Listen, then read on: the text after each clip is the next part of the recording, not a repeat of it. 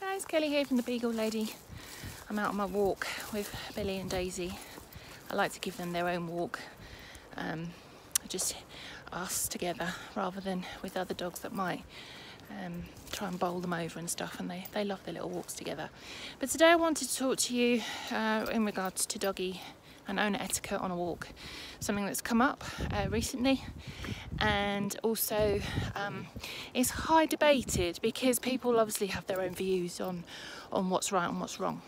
But what I'm going to try and explain to you is what is seen as uh, the right thing to do and also because the law says you have to.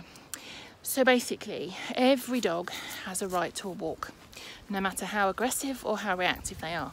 And they shouldn't be banished to early morning walks and late at night so they don't see anybody or don't see any other dogs.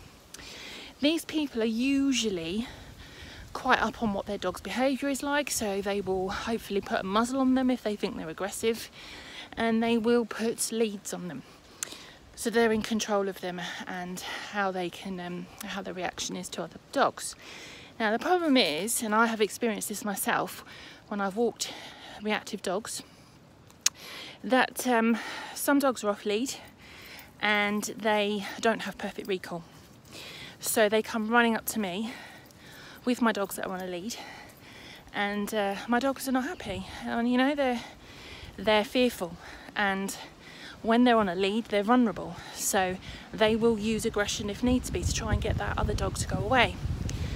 So basically, if your dog is not perfectly recalled, it's kind of a no-no that your dog runs up to another dog on a lead. Um, and if that is your dog, then they're either going to have to go on a lead, they're going to be recall trained, or there needs to be some way you can gain control of them, like I do with Billy. He has a lead attached to him. So I'm like one step ahead of him normally. I see a person, I'm like, Billy, come here. and then I pick up his lead and we carry on our walk until that person's gone and then I let him go and he can do whatever he wants. It's not perfect, so I have missed a couple and then I've had to apologise profusely to um, the poor owner and their dog. Um, and I'm mortified, I'm embarrassed that my dog has run up to a dog that's on a lead because um, that's not doggy etiquette. So I have had people say to me, well, if uh, if a dog is reactive or is aggressive, then they shouldn't be walked. No, no, no, no, no, no. Dogs who are off lead need to be recall trained. And I know some of you are struggling with this because you have youngsters who um, are excited to see other dogs. But as my other video says, you need to have control over them. So you need to attach a training lead so that you can stand on it and grab their attention and pull them away they learn that it's not acceptable to go running up to a dog. It is a hot topic, I know it is, but unfortunately the law says that if your dog is un not under control, which it isn't, if you don't have recall, then you are committing an offence if you put a person in fear of being bitten or bitten. Um, and anyone can feel fear, you know.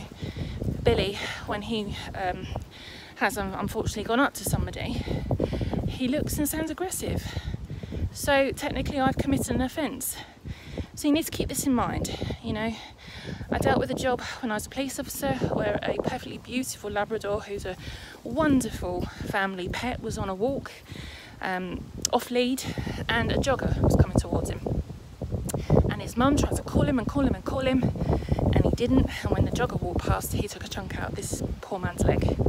She was prosecuted. Now her dog has to be walked on a lead and muzzled at all times. That's what the courts have given uh, her the sanction, which is not fair for her and not fair for the dog. So please try and keep this in mind when you walk your doggies.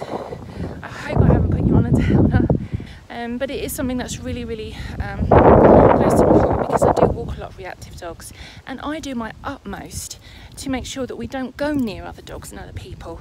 But it's those dogs that are not recall trained properly that come running over to us and cause absolute chaos um, so if you need some help with recall training, have a look at my whistle training um, video because uh, whistles were made for beagles. And also, if you have a dog that's got selective recall, it doesn't mean they can't go off lead. You just need to get a training lead that they drag behind them, and then you're able to um, you're able to have control over. And also anticipate, anticipate. I'm always looking around me. Always. Is there a person? Oh, right, Billy, come back. Oh, is there a dog? Right, Daisy, come back.